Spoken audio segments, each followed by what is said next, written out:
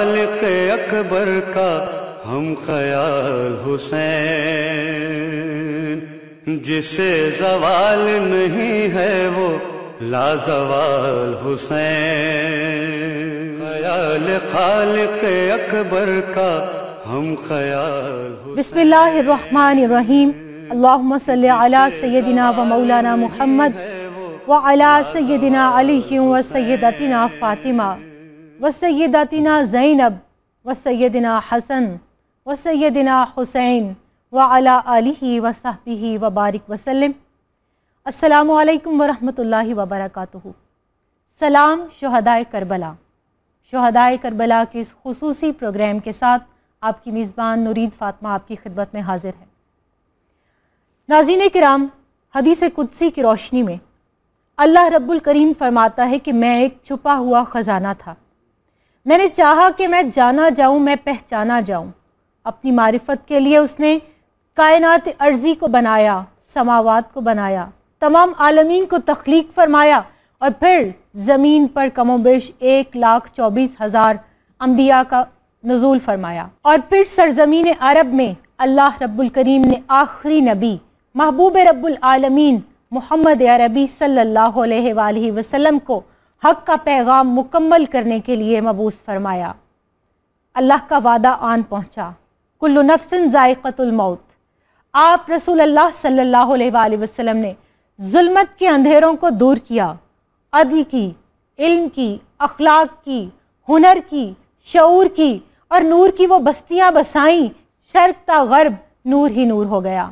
یہ نور ہدایت تریسٹھ سال تک ظاہراً چمکا اور اس کے بعد آپ صلی اللہ علیہ وآلہ وسلم نے وصال فرمایا۔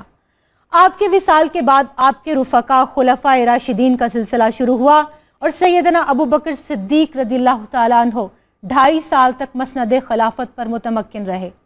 آپ کے بعد خلیفہ ثانی سیدنا عمر فاروق رضی اللہ تعالیٰ عنہ کا دور آیا اور دس سال تک انہوں نے زمین پر وہ نظام مصطفی صلی اللہ علیہ وآلہ وسلم قائم کیا جو قائم کرنے کی ضرورت تھی۔ عرب کی اس میدان سے لے کر مشرق سے لے کر مغرب تک آپ نے حق کے پیغام کو پھیلایا۔ اس کے بعد سیدنا عثمان غنی رضی اللہ تعالیٰ عنہ کا دور آیا۔ سیدنا عمر کو بھی شہید کیا گیا اور بارہ سال کی خلافت عثمانیہ کے بعد خوارج کا ایک سلسلہ شروع ہوا اور سیدنا عثمان غنی رضی اللہ تعالیٰ عنہ کو شہید کیا گیا۔ آپ کے بعد مولائے کائنات شیر خدا سیدنا علی کرم اللہ وجہ الکریم مسند خلافت پر متمکن ہوئے۔ پانچ سال تک آپ نے خلافت کی مسند کو سنبھالا، مگر کوفیوں نے آپ کو اپنے ہی مسجد میں، اپنے ہی کوفہ میں، اپنے ہی دارالخلافہ میں شہید کر دیا۔ اس کے بعد حدیث نبوی صلی اللہ علیہ وآلہ وسلم کے تحت جو تیس سال خلافت کے آپ صلی اللہ علیہ وآلہ وسلم نے جن کی طرف اشارہ فرمایا تھا، پانچویں خلیفہ سیدنا امام علی مقام امام حسن علیہ السلام چھ ماہ کا دور خلافت آپ کا آیا۔ مگر آپ نے بھی امن کے لیے، صلح کے لیے زمین پر فساد برپا نہ ہو، اس کے لیے شہادت نوش فرمائی۔ آپ کے بعد زمین پر امام بچے ہیں تیسرے۔ امام علی مقام سیدنا امام حسین علیہ السلام۔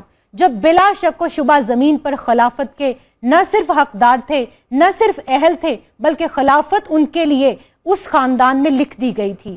مگر کیا ہوا؟ سیاسی حالات کس طرح کے پلٹا کھا گئے کہ یزید اپنے دور میں ملوکیت کا اعلان کر دیتا ہے۔ وہ خلافت جو آپ صلی اللہ علیہ وآلہ وسلم سے لے کر اب تک چلی آ رہی تھی، اس کو کس طرح سے ملوکیت کا سامنا ہے؟ آج ہم اس پر بات کریں گے۔ وہ کون سے حقائق تھے؟ وہ کون سی وجوہات تھیں جن کی بنا پر امام علی مقام علیہ السلام کو پہلے مدینہ چھوڑنے پر مجبور کیا گیا اور پھر اس کے بعد آپ کو مکہ چھوڑ کر کوفہ و کربلا کی جانب اپنے اہل و عیال کے ساتھ، اپنے بچوں کے ساتھ مخدرات عصمت کے ساتھ حق کا علم بلند کرنے کے لیے کوفہ جانا پڑا۔ آج ہم اسی موضوع کے حوالے سے بات کریں گے۔ اس موضوع پر گفتگو کرنے کے لیے میرے ساتھ آج جو اسکالرز تشریف فرما ہیں، ان میں پہلی ہماری مہمان ڈاکٹر خانم سکینہ صاحبہ۔ آپ کا بہت شکریہ ڈاکٹر صاحبہ۔ ان کے ساتھ ہماری دوسری مہمان اسکالر ہیں، سیدہ شباب فاطمہ صاحبہ۔ شباب، آپ کا بہت شکریہ۔ اور منقبت پیش کرنے کی سعادت حاصل کریں گی پروگرام کے آخر میں زرمینہ ناصر صاحبہ۔ زمینہ آپ کا بے حد شکریہ۔ ڈاکٹر خانم اگر چبت ہیں جماعت کی آستینوں میں، مجھے ہے حکم ازاں لا الہ الا اللہ۔ وہ کون سی وجوہات تھیں کہ آپ امام علی مقام علیہ السلام کو اپنا وہ مدینہ چھوڑنا پڑا کہ جو آپ کا جہاں آپ کا بچپن کھیلا تھا، جہاں آپ کی ولادت ہوئی تھی۔ بسم اللہ الرحمن الرحیم۔ اللہم صلی علی محمد و آل محمد واجل فرجہم۔ آج کا موضوع جو ہے، بہت حساس اور بہت اہم موضوع ہے کہ امام علی مقام علیہ السلام نے مدینہ چھوڑ کر مکہ مکہ سے کوفے کی عظیمت اس کی وجہ اور اس کے وجوہات جس پہ ہم گفتگو کرنا چاہیں، اس کے لیے ہمیں تھوڑا سا ماضی کا سہارا بسم اللہ اور بسم انبیاء کرام کے حالات اور زندگی کا سہارا لینا پڑتا ہے۔ جی۔ یہ وہ فیصلہ ہے مولا حسین کا جو لوہے محفوظ میں مکتوب ہے۔ سبحان یہ اللہ۔ وہ امام حسین علیہ السلام کا ارادہ ہے جو اللہ کا ارادہ ہے۔ بے شک۔ یہ وہ قدم ہے جو مشیت خداوندی ہے۔ پروردگار عالم نے کائنات کی تخلیق سے پہلے کربلا کا ارادہ کر لیا تھا۔ اس پر ہمارے پاس بہت سارے دلائل اور شواہد ہیں۔ تمام انبیاء کا گزر کربلا سے ہوا۔ جی۔ جناب ابراہیم جناب اسماعیل جناب عیسیٰ جناب موسیٰ۔ یہاں تک کہ جناب نوح کی کشتی جب کربلا کی سرزمین سے گزری ایسے ڈگمگائی کہ جناب نوح نے سوال کیا پروردگارا کیا مجھ سے کوئی خطا ہوئی؟ میرے کشتی میں ایسے تزلزل کیوں ہے؟ آواز قدرت آئی نوح کیا نہیں جانتا یہ دشت کربلا ہے؟ یہ اللہ کی طرف سے لکھی ہوئی کتاب ہے۔ مدینہ کیوں چھوڑنا پڑا؟ امام علی مقام علیہ السلام جب؟ امام علیہ السلام ارادہ فرماتے ہیں مدینہ چھوڑنے کا اس کی ایک وجہ یہ ہے معاہدہ تھا امام حسن علیہ السلام اور امیر شام کے درمیان کہ امیر شام اپنے بعد کسی کو مسند خلافت پر نہیں بٹھائے گا۔ جب امیر شام نے وصیت کی اپنے وقت وفات کہ میرے بعد میرے جانشین میرا بیٹا یزید ہوگا اس وقت جب عہد نامے کی اور صلح نامہ پامال ہوا۔ حق یہ تھا امام حسین علیہ السلام قیام فرماتے۔ اور دوسری بات یزید کی طرف سے جب پیغام آیا حسین سے بیعت لی جائے۔ بہت سارے اسلامی ممالک ایسے لوگ تھے جنہوں نے بیعت کر لی تھی۔ عراق اور شام کے تو لوگوں نے کر لی تھی شام۔ کوفہ جب بیعت ہو گئی مدینہ آئے۔ اور یزید کو خوف بھی مدینے سے تھا۔ اور یزید کو خوف بھی بنی ہاشم سے تھا۔ خوف بھی مولا حسین سے تھا۔ ختم تحریر جو لکھی گئی کہ حسین سے بیعت لی جائے یا پھر حسین کا سر تن سے جدا کیا جائے۔ دیکھیے عزم عزم یزید یہی تھا۔ اور امام حسین علیہ السلام اسے جانتے ہیں۔ جب مروان کے دربار میں بلایا گیا امام علیہ السلام نے اپنے موقف کا اظہار کیا۔ فرمایا مجھ جیسا یزید جیسے کے ساتھ کبھی بیعت نہیں کرے گا۔ اور وجہ بھی بتائی کہ یزید۔ شارب الخمر ہے۔ یزید وہ ہے جو شراب پیتا ہے، یزید وہ ہے جس نے اللہ کے رسول کے حلال کو حرام حرام کو حلال کر دیا۔ یزید وہ ہے جس نے تقدسات اور خصوصاً محرم رشتوں کو پامال کر دیا۔ بہت بڑی وجہ خانم بتا رہی ہیں کہ اعلیٰ کلمت اللہ کے نفاذ کے لیے ضروری ہو گیا تھا کہ اب وہ مدینہ کہ جہاں پر دوش انور مصطفیٰ کریم صلی اللہ علیہ وآلہ وسلم پر امام علی مقام علیہ السلام نے سواری کی تھی، اب اس مدینہ کو چھوڑا جائے۔ یہ رخصتی بہت مشکل نہیں تھی۔ بسم اللہ الرحمن الرحیم اللہم صلی علی محمد وآل محمد۔ نورید امام علی مقام امام حسین علیہ السلام مرکز محور کائنات ہے اس لیے کہ وہ ایک بہت بڑے وعدے کی تکمیل کے لیے جا رہے ہیں۔ وہ وعدہ جو عالم ارواح میں کہیں ہوا تھا اور وہ وعدہ جس کی نشاندہی رسول خدا صلی اللہ علیہ وآلہ وسلم اپنی زندگی میں دیتے بے رہے شک، بے جس شک۔ کی بشارتیں ان کی ولادت پر ہوئیں۔ جن کی بشارتیں انہیں آغوش میں لے کر پشت پر سوار کر کے اپنے سجدے کو طول دے کر دیتے رہے۔ تو اس عظیم کام کی پایہ تکمیلی کے لیے امام علی مقام نے مدینہ کو چھوڑا۔ اور یقیناً یہ بات بالکل درست ہے کہ مدینہ وہ مرکز ہے جو امت مسلمہ کا گڑھ ہے۔ مرکز ہے۔ ہر کسی کی اس سے دلی وابستگی بھی ہے جذباتی وابستگی بھی ہے۔ اور امام علی مقام علیہ السلام کی جذباتی اور دلی وابستگی اس طرح سے ہے کہ اس شہر میں اس جگہ پر نہ صرف انہوں نے آنکھیں کھولی بلکہ اس کی گلیوں میں اپنے نانا کی پشت پر اپنے نانا کی آغوش میں اپنے نانا کی گود میں رہ کر وہ ہر جگہ پر گئے۔ تو مدینے کی ایک ایک گلی سے ایک ایک چپے سے ان کی انسیت ہے۔ دوسری سب سے بڑی انسیت یہ ہے کہ وہاں پہ روزہ رسول ہے۔ سبحان اللہ رسول اللہ صلی اللہ علیہ وسلم کا مرکز ہے۔ اور رسول اللہ صلی اللہ علیہ وسلم کے مرکز پر جا کر تاریخ میں لکھا ہے کہ امام علی مقام اپنے چہرے کو رکھ دیا کرتے مجھے منیر قصوری صاحب کا شعر یاد آیا۔ بالکل۔ وہ کہتے ہیں میری الفت مدینے سے یوں ہی نہیں۔ میرے آقا کا روزہ مدینے میں ہے اور میں مدینے کی جانب نہ کیسے کھچوں؟ میرا دین اور دنیا مدینے میں ہے۔ سبحان اللہ سبحان اللہ۔ تو تاریخ میں لکھا ہے کہ جب بھی روزے رسول پر جاتے تھے چہرہ مبارک کو رکھ دیتے تھے اور بالکل اس طرح سے اپنے چہرے کو مس کیا کرتے تھے جیسے لمس کو محسوس کر رہے ہیں۔ سبحان اللہ سبحان اگر اللہ۔ گفتگو کرنی ہوتی تھی کوئی بھی مشکل پریشانی ہے اس طرح گفتگو کیا کرتے تھے جیسے نانا رسول اللہ صلی اللہ علیہ وسلم جواب دے رہے ہیں۔ جب مدینے سے رخصت ہونے لگے تو ایک بچے کی طرح سے لپٹ کر روزہ اچھا انور روزہ۔ انور صلی اللہ علیہ وآلہ وسلم کے بعد پھر اپنی والدہ کے والدہ روزہ کی۔ پاک پہ بھی حاضر ہوتے ہیں۔ والدہ کی قبر پر ایک بڑا دل خراش جملہ ہے کہ جب بی بی سیدہ سلام اللہ علیہ اس دنیا سے گئی تھی تو امام علی مقام بڑے کم سن تھے۔ اور تاریخ میں لکھا ہے کہ پانچ برس کے امام علی مقام روزانہ رات کو اپنی والدہ کی قبر پر جا کر چراغ جلایا کرتے۔ اللہ اکبر۔ اور اپنی والدہ سے ایسے گفتگو کیا کرتے تھے جیسے والدہ سامنے بیٹھی ہیں۔ جب بی بی کے روزے سے رخصت ہونے لگے تو امام نے صرف ایک جملہ کہا کہ اما اب حسین چراغ جلانے نہیں آئے۔ اللہ اکبر۔ اور یہ کہتے ہوئے اپنی والدہ کی قبر انور سے رخصت ہو گئے۔ ستر یا بہتر مرتبہ لکھا ہوا ہے۔ تاریخی کتابوں میں کہیں پر اسی مرتبہ بھی کہ مڑ مڑ کر قدم پیچھے جاتے رہے بڑھتے رہے دیکھتے رہے۔ بالکل اس طرح سے کہ جیسے بچہ اپنی ماں کی طرف جاتے ہوئے پلٹ کر نہیں دیکھتا اور امام کی آنکھوں میں ایک عجیب سی حسرت تھی۔ در و دیوار کو تک رہے تھے، اپنے گھر کو دیکھ رہے تھے۔ امام حسن علیہ السلام کی مرکت پر گئے، اس طرح سے تک رہے تھے کہ اب دوبارہ ان ہستیوں سے ملنے کا موقع نہیں ملے گا۔ وہ حسرت، وہ بیان، نکلنا امام علی مقام کا بالکل ایسا تھا کہ مدینے کے لوگ رو پڑے۔ بی بی ام سلمہ، وہ شیشی لے کر آئیں جو جناب رسول خدا صلی اللہ علیہ وآلہ وسلم نے تربت امام علی مقام کی مٹی انہیں دی تھی۔ اور انہوں نے کہا کہ مجھے خوشبو آ رہی ہے میرے بیٹے کہ تم دوبارہ مدینے نہیں آؤ گے کیونکہ مجھے لگ رہا ہے کہ تمہارا یہ سفر تمہیں شہادت کی طرف لے کر جا رہا ہے۔ کیونکہ احادیث میں اکسٹھ ہجری کی 61 آمد۔ اور ساٹھ ہجری کے اختتام کے بارے میں تفصیل سے بیان فرما دیا بالکل۔ اچھا امام علی مقام نے مدینے میں اپنی بیٹی بی بی فاطمہ سغرا کو بھی چھوڑا۔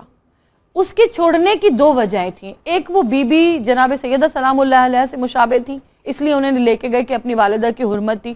بی بی ام سلمہ ازواج متحرات جناب رسول خدا صلی اللہ علیہ وآلہ وسلم اس لیے انہیں چھوڑ کے گئے۔ اور دوسری وجہ بی بی فاطمہ سغرا کو چھوڑنے کی یہ کہ وہ اپنے زمانے کی فقی تھی سبحان وہ اللہ۔ عالمہ تھی بہت بڑی۔ وہ سوالوں کے جوابات دیا کرتی تھی امام کا مدینے میں ان کو چھوڑ کے جانا اس بات کی دلیل ہے کہ انہوں نے مدینے کو بھی علم سے تنہا نہیں کیا۔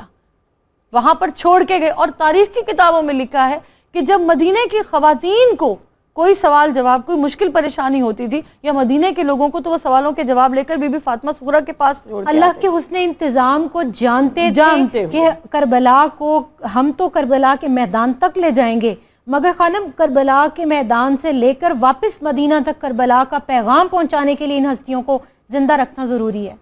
جی بالکل جب امام علیہ السلام مدینہ سے روانگی کے ارادہ فرماتے ہیں بہت سارے اصحاب رسول خدا صلوات اللہ علیہ آپ کی بارگاہ میں تشریف لائے اور آپ کو جانے سے منع کیا کہ حسین ہم اس راستے کے خطر کو اپنے آنکھوں سے دیکھ رہے ہیں۔ اللہ اکبر۔ اصحاب کرام کو وہ خطرہ کیوں محسوس ہو رہا تھا؟ اس کی وجہ کیا تھی؟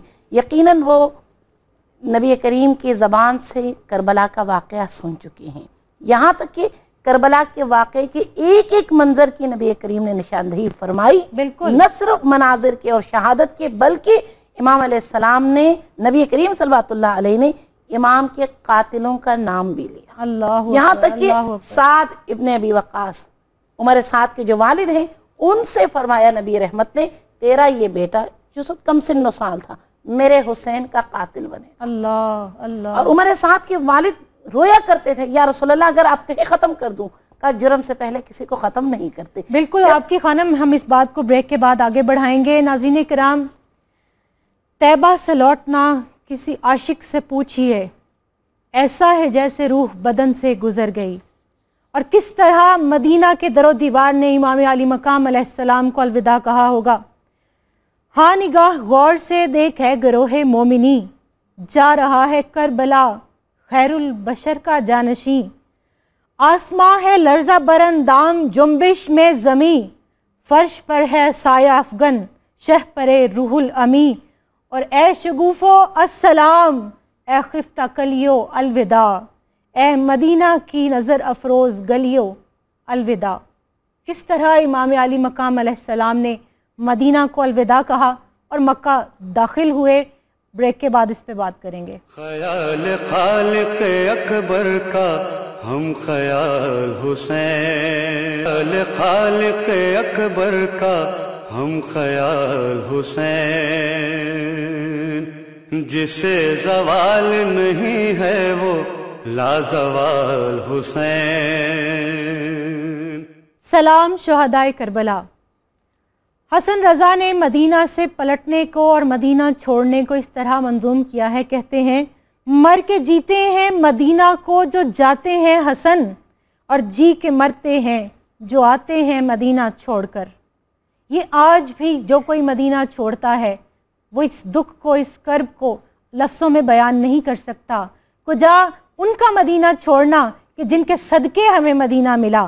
امام علی مقام علیہ السلام نے بچوں اور مخدرات عصمت کے ساتھ، اپنے گلشن کے نونحالوں کے ساتھ ساٹھ ہجری تین شابان المعظم میں بمطابق چھ نو مئی سن چھ سو اسی عیسوی میں جمعے کے روز چھ روز کی پیدل مسافت کے بعد مدینہ چھوڑ کر مکہ میں داخلہ فرمایا۔ اور جب آپ مکہ شریف میں داخل ہوئے تو آپ کے لبوں پر سورہ قصص کی آیت نمبر بائیس تھی۔ آپ اس کی تلاوت فرما رہے تھے، جس میں موسیٰ علیہ السلام کی اس دعا کا تذکرہ ہے، جو آپ نے مدین میں پناہ کے وقت اللہ رب الکریم کے حضور فرمائی تھی کہ اے میرے رب، میں وادی مدین میں پناہ گزیر ہوا ہوں۔ قریب ہے کہ میرا رب مجھے ضرور ہدایت اور سرات مستقیم پر رہبری فرمائے گا۔ جی شباب۔ نورید امام علی مقام علیہ السلام مکے میں داخل ہوئے اور جب مدینے سے چلنے لگے ہیں نکلنے لگے اور قافلے کو اپنے لے کر تو لوگوں نے کہا کہ آپ کس راستے کا انتخاب کر رہے ہیں؟ انہوں نے جس راستہ بتایا تو کہا یہ شاہراہ عام ہے۔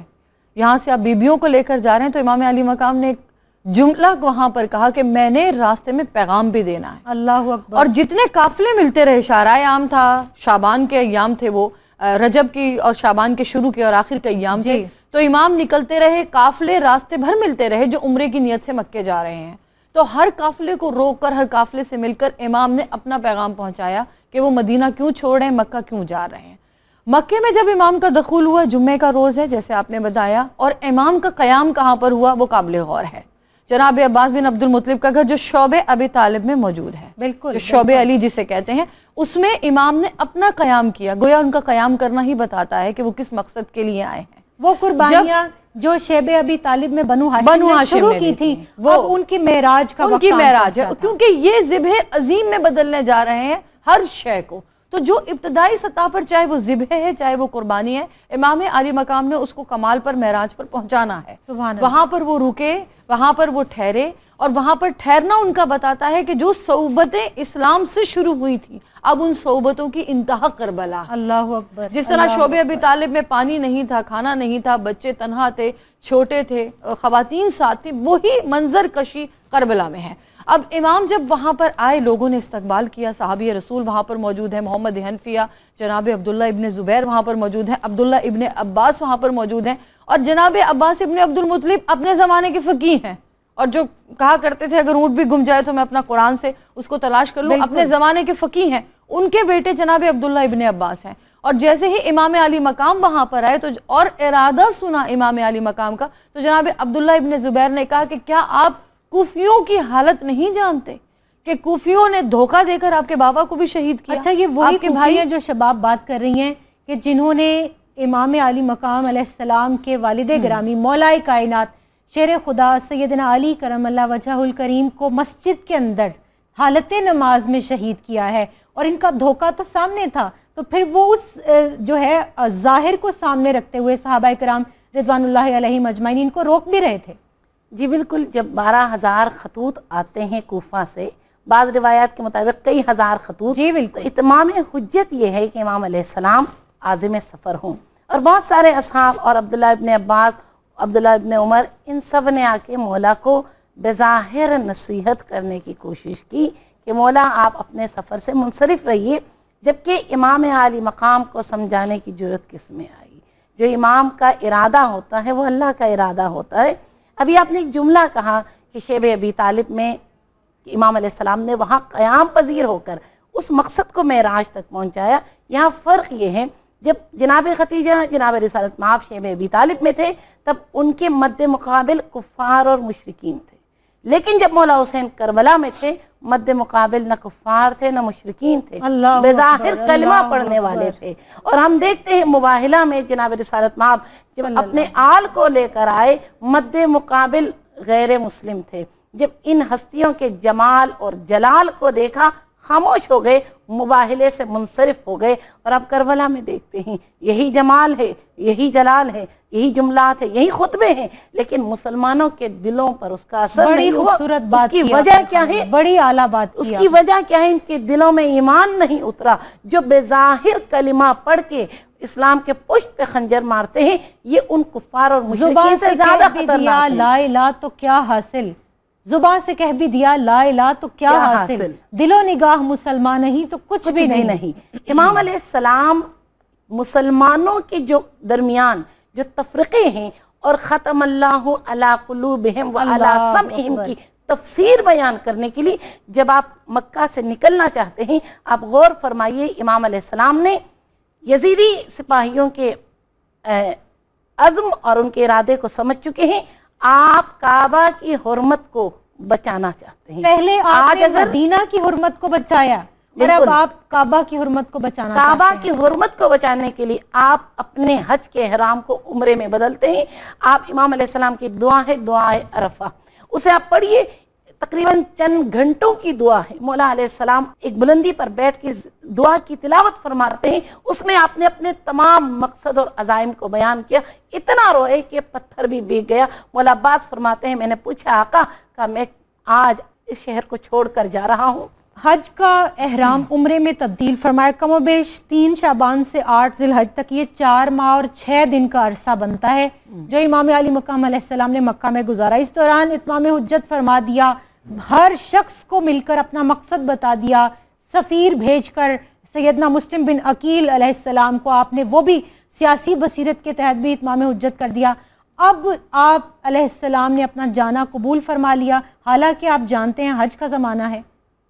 نورید، امام علی مقام نے جب حضرت مسلم کو اپنا سفیر بنا کر بھیجا تو ابھی تک کی گفتگو میں ہمارا یہ جملہ نہیں آیا۔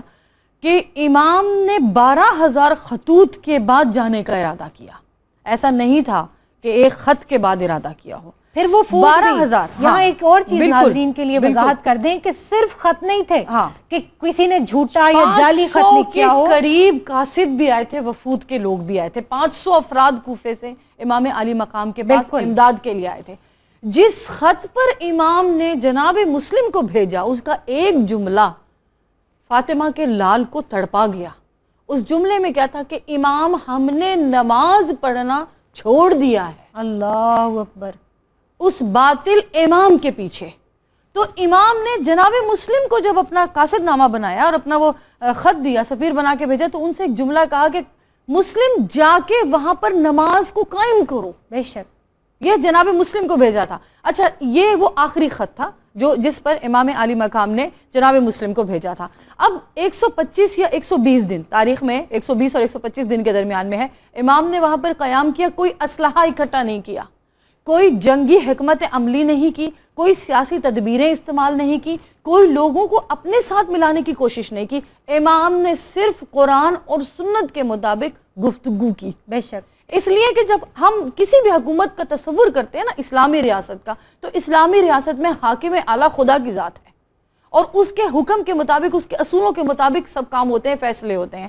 اب جب امام نے حج کو عمرے میں بدلا اور جو امام کا خطبہ ہے وہاں پر موجود حاجیوں سے جو احرام باندھے ہوئے ہیں، امام کا جملہ کتنا خوبصورت ہے۔ امام ایک دعوت فکر دے رہے ہیں، وہ کہہ رہے ہیں کہ اپنا تعارف کروانے کے بعد، خدا کی تعریف کرنے کے بعد انہوں نے جملہ کہا کہ آدم کے بیٹوں کے لیے کیونکہ سامنے حاجی ہیں جی۔ کہا آدم کے بیٹوں کے لیے موت بل اتنی حسین ہے جس طرح ایک جوان لڑکی کے گلے میں گلوبند خوبصورت ہوتی۔ اچھا جتنے بھی حجاج کرام موجود ہیں آپ علیہ السلام کو یہ پتا ہے کہ یزید نے تیس لوگوں کو صرف اور صرف قتل حسین علیہ السلام کے لیے معمور کر کے خنجر دے کر بھیجا ہے اور ان کے بغلوں میں وہ خنجر ہیں۔ مگر آپ حرمت کعبہ پامال نہیں ہونے دینا چاہتے۔ یہ سنت نہیں نظر آتی سیدنا عثمان غنی رضی اللہ تعالیٰ عنہ کی؟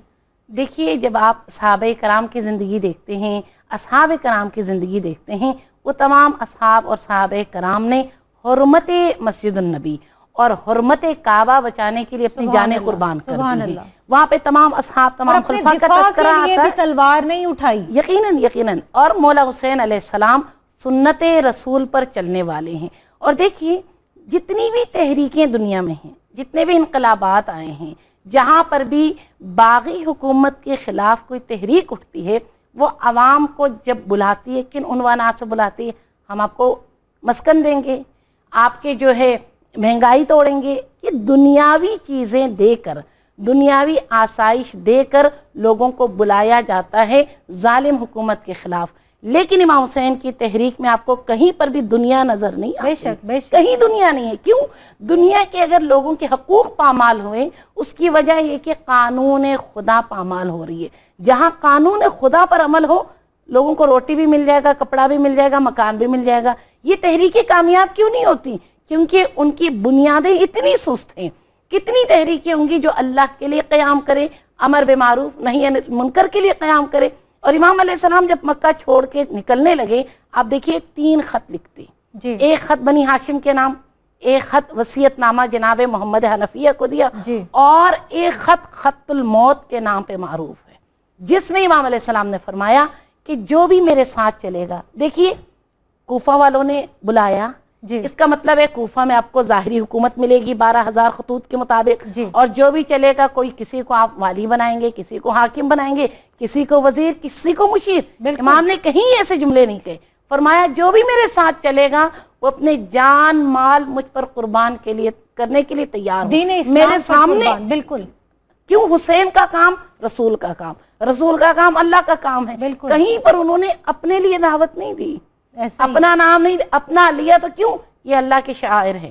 یہ اللہ کی نشانیاں ہیں یہ اللہ کے وعدے ہیں۔ آپ نے جو خطوط لکھے بنی ہاشم کے نام اور خط الموت یہ جملہ تذکرہ ہے کہ میں موت کے لیے جا رہا ہوں۔ جس نے راہ خدا میں جان کی جان نثاری کرنی وہ میرے ساتھ یہ راہ عظیمت تھی شباب اور راہ رخصت کے لیے لوگ ان کو مشورے دے رہے تھے کہ آپ کہیں تبلیغ کے لیے دور دراز علاقوں میں نکل جائیں میدانی علاقوں میں نکل جائیں۔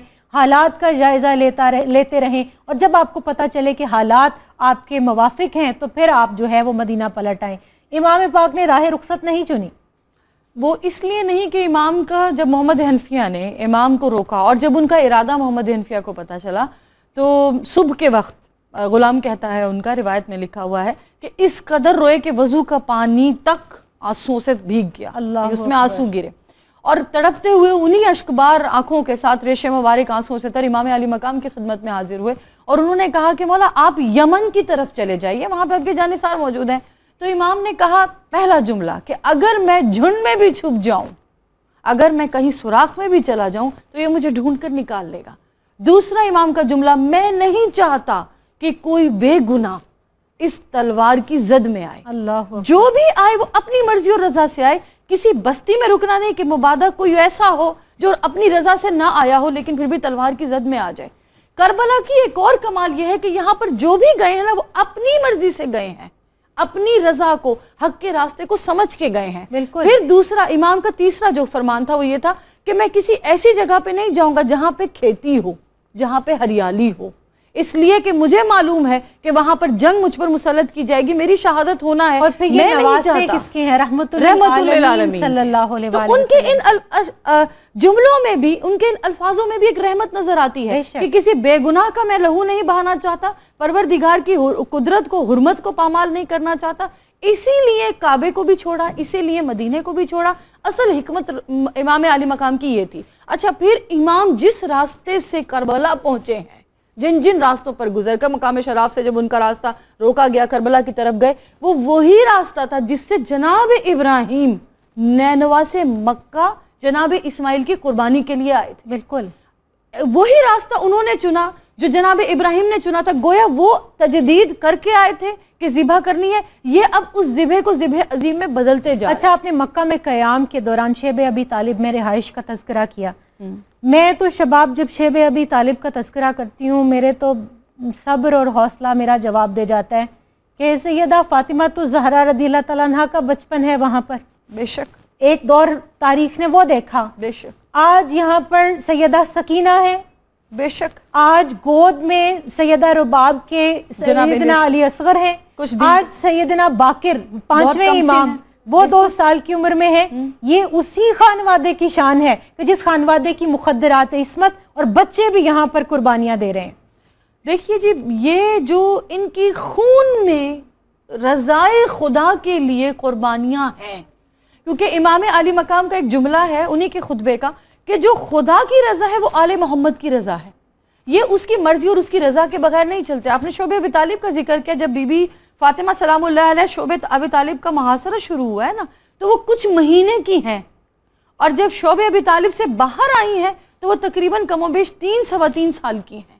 کہ اتنی کم سن ہے اس عمر میں ان کی والدہ درختوں کی چھال کھا رہی ہیں۔ وہ شیر مادر جب پی رہی ہیں، تو وہ درختوں کی چھال ہے جو جناب خدیجت القبرا کھا رہی ہیں۔ اور اس بچی وہ بچی گود میں ہے وہ کم سن ہے اور شباب ان قربانیوں کا۔ تذکرہ ہم بڑی آسانی سے کر جاتے ہیں۔ میں کہا کرتی ہوں کہ کبھی اپنے بچوں کو کوئی ماں ارادتاً یہ چیزیں دے کے دیکھے نا بالکل بالکل لیکن یہ قربانیاں آج امت مسلمہ کو اللہ کا شکر ہے ہم جس جس طرح یاد کروا رہے ہیں ناظرین کرام ہمیں بھولنا نہیں چاہیے کہ ہم تک اسلام کن قربانیوں کے بعد اہل بیت اطہار نے پہنچایا آج ہم اہل بیت اطہار سے محبت کے دعوے تو بڑے کرتے ہیں، مگر پرامن دور کے اندر بیٹھ کر نماز پڑھنا اور تیغوں کے سائے میں، تلواروں میں نماز عشق ادا کرنا بہت فرق ہے۔ اقبال نے کہا تھا، یہ نغمہ فصل گلو لالا کا نہیں پابند، بہار ہو کے خزاں۔ لا الہ الا اللہ۔ ہمارے ساتھ رہیے گا۔ خیال خالق اکبر کا ہم خیال حسین، خیال خالق اکبر کا ہم خیال حسین۔ جسے زوال نہیں ہے وہ لازوال حسین۔ سلام شہداء کربلا۔ جی ڈاکٹر خانم، میں جب اس واقعے کو پڑھتی ہوں تو میں دیکھتی ہوں کہ مدینہ سے آپ اپنے نانا جان سے، اپنی والدہ سے اجازت لے کر رخصت ہو کر مکہ تشریف لائے ہیں۔ یہاں اپنی نانی جان سے رخصتی اور الوداع لے رہے ہیں۔ جیسے جناب سیدہ کی قبر اطہر سے ودا کر کے مدینہ چھوڑنا، قبر رسول صلی اللہ علیہ کو ودا کرنا، مسجد نبی محراب ممبر کو ودا کرنا مشکل تھا۔ اور یہ تو مولا حسین ہی جانتے ہیں کہ کس قدر مشکل ہے مدینے کو چھوڑنا۔ اسی طرح مکہ چھوڑنا بھی امام کے لیے آسان اور پھر حج کا احرام کھول کر عمرے میں بدلنا اس کو۔ مکہ جہاں کعبہ ہے جہاں نشانیاں ہیں اللہ کی جہاں مقام ابراہیم ہے جہاں پر حجر اسود ہے جہاں وہ مکہ جہاں پہ جناب ختیجت القبرہ کی قبر اطہر ہے جناب ابو طالب کی قبر اطہر ہے جسے جنت المعلا کہتے ہیں۔ ان کا ودا کرنا بھی امام کے لیے آسان نہیں ہے۔ آپ دیکھتے ہیں امام علیہ السلام تین شعبان سے لے کر ذی الحج تک مکہ میں جو فرائض انجام دیتے رہے تمام عمرہ میں آنے والوں کو حج پہ آنے والوں کو جو عمرہ کر کے چلے گئے ان سب کو پیغام دیا حسین حق کی خاطر نکل رہا ہے۔ اور جو بھی حسین کے ساتھ دینا چاہے وہ دنیا و آخرت میں حسین کے ساتھ ہوگا۔ آخرت میں بھی حسین۔ کے ساتھ دنیا میں بھی۔ آج ہم دیکھتے ہیں سلام بر شہداء کربلا جو اپنے عنوان رکھا ہے شہداء کربلا کو قیامت تک خراج تحسین کیوں پیش کر رہے ہیں؟ کیونکہ جو بھی حسین کے راستے میں تھا، حسین کے ساتھ دنیا و آخرت میں ساتھ جڑ گیا۔ شباب کے یہ لوگ، وہ جو چھپے ہوئے خنجر ہیں، وہ یہ صاف آنکھوں سے دیکھ رہے ہیں۔ بالکل، کیونکہ وہ اللہ کی فراست سے دیکھ رہے ہیں۔ حالانکہ خنجر احراموں میں ہیں، تیس لوگ حاجیوں کے پیچھے ہیں۔ دیکھیے، امام علی مقام اگر حرم کعبہ کو نہ چھوڑتے، تو کردار یزید سامنے نہ آتا۔ اچھا یہاں ایک اور بات کی وضاحت بھی کر دیں۔ کہ یہ بظاہر عبادت کی نیت سے جانے والے حاجی ہیں مگر در پردہ دیکھیے کردار یزیدی ہے۔ کردار کوفی ہے۔ دھوکہ ہے۔ منافقت ہے۔ اللہ کے گھر میں بھی۔ جا کر ان لوگوں کو اللہ رب الکریم کے شاعر کا اور اللہ رب الکریم کے نبی کی آل کا حیا نہیں آیا بالکل دیکھیے عبادت کا لبادہ اڑنے سے کوئی مسلمان نہیں ہوتا اللہ اکبر اللہ اکبر کیا بات کیا اپنے ابلیس بھی سجدہ گزار تھا اللہ لیکن جب وقت آزمائش آیا جب حق پر چلنے کا راستہ آیا تو پھر ابلیس راندہ درگاہ ہو گیا۔ عبادتیں حق پر چلا راستے پر چلا تو سکتی ہیں لیکن ضروری نہیں کہ قائم بھی رکھ سکیں۔ بالکل۔ عبادتوں کا کرنا اور ہے عبادتوں پر قائم رہنا اور ہے۔ اپنی جبی کو سجدے میں زمین پر رکھنا اور ہے لیکن اپنے نفس اور اپنے روح سے اس کے اعلیٰ ہونے کا میری تو آنکھوں سے کبھی جب میں ان ہستیوں کا ذکر پڑھتی ہوں سورہ کوثر اوجھل نہیں ہوتی۔ فصل لیلی ربی کا لوگوں نے سمجھا سارا اسلام یہی ہے۔ اللہ رب الکریم نے اسی آیت میں جوڑ کر بے شک۔ فصل لیلی ربی کا ون ہر اس کے ساتھ ون ہر بھی جوڑ دیا کہ جب تک قربانی نہیں دو گے فصل لیلی ربی کا بھی اس کا مفہوم ادا نہیں ہو سکتا۔ عبادت در حقیقت میں قربانی کا دوسرا نام ہے۔ بے شک۔ اور قربانی قرب سے نکلا ہے۔ قرب کا مطلب اس سے نزدیکی ہے پروردگار سے قرب کا نام ہے۔ اور کہا ہے معصومین نے کہ نماز متقیوں کے لیے قربانی ہے عبادت متقی کے لیے قربانی ہے۔ تو وہ جو عبادت کر رہے تھے اس وقت بظاہر حرام احرام میں تھے اور حج کر رہے تھے دراصل میں وہ عبادت قربانی کی نیت سے نہیں کر رہے تھے قرب خداوندی کی نیت سے نہیں کر رہے تھے وہ صرف ایک کعبے کے طواف لگا رہے تھے۔ اچھا شباب جب اگر یہ ہستیاں ہاتھ اٹھا دیتی دعا کر دیتے امام علی مقام علیہ السلام تو کیا یہ آزمائش ٹل نہ جاتی؟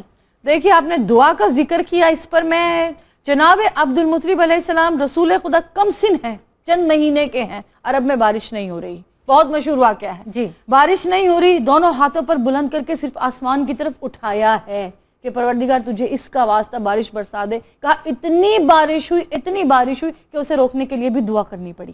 یہ اگر ہاتھ اٹھا دے تو ممکن ہی نہیں ابھی لفظ زبان میں ہی کیوں نہ ہو؟ ہاتھ اٹھانا تو بہت بڑی بات ہے نگاہ سے اشارہ بھی کر دیں۔ مخلوقات تو میں سمجھتی ہوں ساری کی ساری مخلوقات ان کے تابع ہے بالکل سورہ لقمان میں کہا ہے نا کہ ہم نے مسخر کر دیا سب کچھ۔ اور مسخر کرنے کا کیا مطلب ہوتا ہے؟ تسخیر کر دینا تابع کر دینا۔ جب یہ ٹھوکر مار کر پتھروں سے پانی نکال سکتے ہیں تو ہاتھ اٹھانا تو بہت بڑی خانم بات ہے۔ انہوں نے اپنی شوق شہادت سے اب اس راہ عظیمت کو چن کر آنے والی رہتی دنیا تک مسلمانوں کو کیا پیغام دیا؟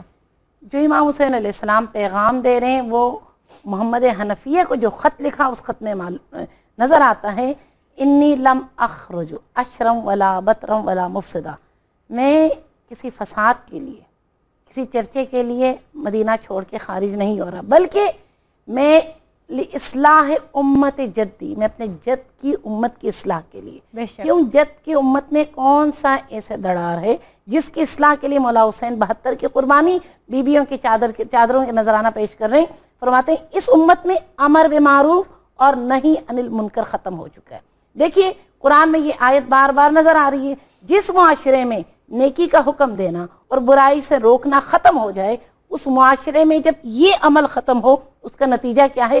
برائی کی تعریف کی جاتی ہے بالکل۔ اور اچھائی کو دبا دیا جاتا ہے۔ آج ہم اپنے معاشرے میں دیکھتے ہیں برائی کی ایسی تشہیر ہوتی ہے جیسے اس سے اچھا کوئی عمل نہیں ہے۔ اور امت مسلمہ کا تو آپ کی گفتگو کی روشنی میں اعجاز اللہ نے قرآن میں یہ بتا دیا کہ کنتم تم خیر امت اخرجت للناس تأمرون بالمعروف وتنہون عن المنکر۔ جی آج مسلمانوں کے زوال کی وجہ یہی ہے۔ آج مسلمان مسلمان ہونے پر فخر کرنے کی جگہ چہرہ چھپاتے پھر رہے ہیں۔ آج اسلام کے نام پر جو کچھ ہو رہا ہے، اس کی بنیادی وجہ یہ ہے کہ برائی اس قدر عام ہو گئی۔ کاش صرف برائی عام ہوتی، بلکہ برائی کو اچھی نگاہ سے دیکھنا اور اچھائی کو مغلوب کر دینا۔ امام علیہ السلام نے اس چیز کے لیے کہ امر معروف نہیں ان منکر ختم ہو رہی ہے۔ دوسری بات، دین رسول خدا میں اس قدر بدعتیں آ چکی ہیں کہ حلال کو حرام حرام کو حلال۔ آج ہم معاشرے میں دیکھتے ہیں حلال حرام ہے حرام حلال ہے۔ خانم اگر کسی کو۔ کہیں تو لوگ برا مان جاتے ہیں کیا کریں؟ یہی بات ہے نا امر بے معروف اور نہیں انل منکر جب ختم ہو جائے۔ ہمارا فریضہ ہے امر بے معروف کے جو شرائط ہیں اشارے سے منع کرنا پیار سے منع کرنا اس کے بعد ذرا جدیت سے پھر بائی کاٹ کرنا۔ ایک غلطی جو ہماری یعنی ہے۔ ایمان کا درجہ یہ ہے کہ پہلے سب سے اعلیٰ ترین درجہ یہ ہے کہ جتنی طاقت جتنا آپ کے پاس منصب جو اختیارات ہیں ان کو استعمال کرتے ہوئے برائی کو ہاتھ سے روک دیں۔ جی۔ یہ نہیں ہو سکتا تو زبان سے برا کہیں۔ اگر یہ بھی نہیں ہو سکتا تو کم از کم اس کو دل میں ضرور برا جائے بالکل۔ ہمارے ہاں الٹ ہے۔ جب کہیں برائی دیکھیں سب سے پہلے ہم آخری حربہ آزماتے ہیں۔ ہاں۔ یہی وجہ ہے کہ ہمارے امر بے معروف میں تاثیر نہیں ہے۔ نہیں انل منکر میں تاثیر نہیں الحسنہ ہم وہ پیغام بھول جاتے ہیں۔ جی۔ اگر ہم ان اصولوں کو اپنے اسلامی ممالک میں جاری و ساری کر دیں تو یقیناً بہت ساری برائیوں کی جڑ یہیں پر ختم جب آپ یہ سب تذکرے جو ہم کر رہے ہیں اللہ کا شکر ہے اللہ کا احسان ہے اس نے توفیق دی۔ اللہ کریم تا قیامت اس کو جاری رکھے گا ہمیں بھی اور ہماری نسلوں کو بھی توفیق دے۔ کیا نصاب کا حصہ نہیں ہونے چاہیے؟ بالکل کیوں نہیں ہونے چاہیے؟ ہم جب تک دیکھیے، بچے کی تربیت اس کی شکم میں مادر سے شروع ہو جاتی ہے۔ اس کے بعد آغوش مادر سے۔ پھر دوسرا جو اس کی زندگی میں سب سے بڑا اثر ڈالتا ہے، وہ استاد ہے جس سے وہ پڑھتا ہے۔ وہ کتاب ہے جس کے وہ، جو اس کے ہاتھ میں آتی ہے۔ آج افسوس کے ساتھ کہنا پڑ رہا ہے کہ کتاب میں غیر ملکی شخصیات کو تو اجاگر کیا جاتا ہے، لیکن ہماری اسلامی شخصیت کو اجاگر نہیں کیا جاتا۔ وہ ہماری تاریخ سے دہشت زدہ خوف زدہ ہیں۔ ہمارے بچے سپر مین اور بیٹ مین کو تو بہت سننا پسند کریں گے دیکھنا پسند کرتے ہیں۔ لیکن کیا ان کی ماؤں نے کائنات میں جو رسول خدا صلی اللہ علیہ وسلم ہے ان کے افکار کے بارے میں بتایا مولائے کائنات کی قوت کے بارے میں بتایا مولائے کائنات کے مارکوں کے بارے میں بتایا خلفائے راشدین کے حلم و کرم کے بارے میں بالکل اس کی ضرورت ہے اور یقیناً ہماری آواز اگر صاحبان حق تک پہنچ رہی ہے تو اس پر عمل کرنے کی کوشش بھی کریں گے۔ آپ کا بہت شکریہ، سیدہ شباب فاطمہ صاحبہ ڈاکٹر خانم سکینہ صاحبہ، آپ کا شکریہ۔ اب میں زرمینہ آپ سے گزارش کروں گی کہ منقبت پیش کریں۔ گھر سے نکل کے خون میں نہانے چلے حسین۔ گھر سے نکل کے خون میں نہانے چلے حسین اپنے لہو سے شم میں جلانے چلے حسین اپنے لہو سے شم میں جلانے چلے حسین ہم کھا براہیم کی کمر ہم کھا گئی تھی جس سے براہیم کی کمر۔ اس وزن کربلا کو اٹھانے چلے حسین، اس وزن کربلا کو اٹھانے چلے حسین اپنے لہو سے شم میں جلانے چلے حسین اور کچھ اس قدر تھی دین محمد کی فکر تھی کچھ اس قدر دین محمد کی فکر تھی۔ گھر دے کے گھر خدا کا بچانے چلے حسین۔ گھر دے کے گھر خدا کا بچانے چلے حسین۔ اپنے لہو سے شم میں جلانے چلے حسین۔ اور جو بر سکے نوید، کسی سے نہ جز حسین۔ جو بر سکے نوید کسی سے نہ جز حسین۔ سوکھے لبوں سے بات بنانے چلے حسین۔ سوکھے لبوں سے بات بنانے چلے حسین۔ اپنے لہو سے شم میں جلانے چلے حسین گھر سے نکل کے خون میں نہانے چلے حسین اپنے لہو سے شم میں جلانے چلے حسین خیال خالق اکبر کا ہم خیال حسین